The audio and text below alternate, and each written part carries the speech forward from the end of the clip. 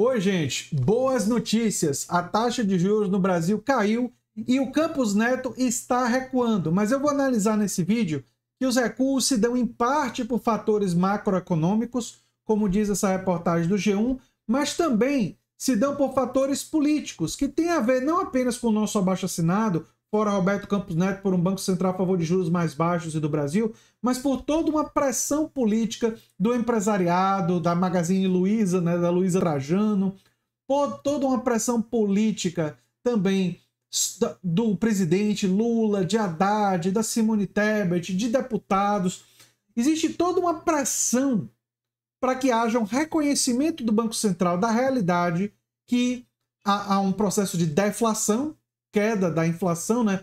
um processo contrário à inflação, a queda de preços, isso está acontecendo.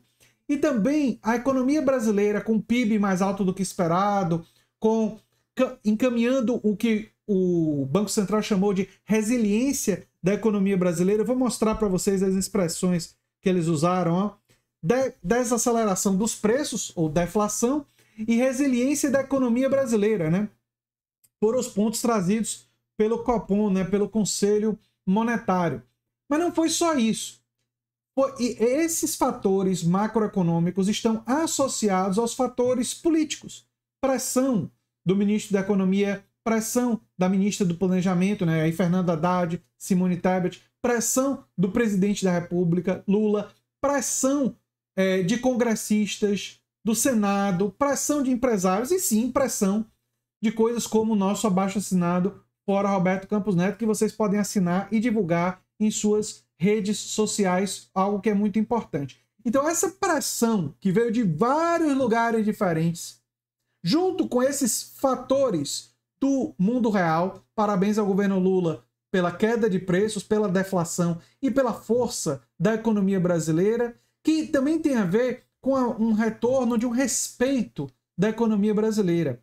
A presença de Lula na ONU, e a forma como ele foi tratado e aplaudido na ONU mostra uma recuperação da imagem nacional, uma recuperação da visão em relação ao Brasil. E essa recuperação é óbvio que produz investimentos maiores no país, mas não é só a recuperação da imagem, também tem a ver com uma estabilidade maior. O governo Bolsonaro, nunca é demais lembrar, estava constantemente ameaçando o Supremo, ameaçando o golpe. Bolsonaro disse certa vez que isso repercutiu muito mal na imprensa internacional. Olha, 1964 pode voltar a acontecer. Quando o presidente do país fala esse tipo de coisa, alguns brasileiros podem não ligar muito, mas vocês podem ter certeza que na comunidade internacional e nos investidores estrangeiros isso repercute. As pessoas dizem: o Brasil é um país instável politicamente. Vale a pena investir num país com esse grau de instabilidade? E eles dizem não.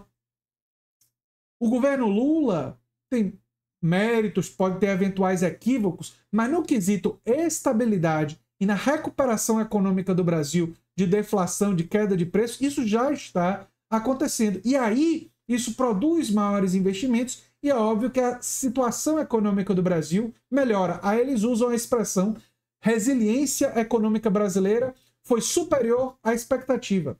E isso foi dito pelo Roberto Campos Neto, não é pelo André é pelo Roberto Campos Neto, que é um bolsonarista, um cara que fez campanha para Bolsonaro, um cara que, cujas pesquisas davam suporte à campanha do Bolsonaro, mas que está vendo que a pressão, tanto do, da, da realidade econômica quanto a pressão política, chegou a um ponto insustentável. Isso significa que a gente pode deixar ele lá só contra. Entendo que ele tem que sair. Tem que sair porque ele sugeriu a venda das reservas internacionais brasileiras. Sugeriu que a gestão ficasse privada sugeriu isso falando com um fundo abutre, o BlackRock. Tem que sair porque ele pensou em é, silenciar o Gabriel Galípolo, o indicado de Lula.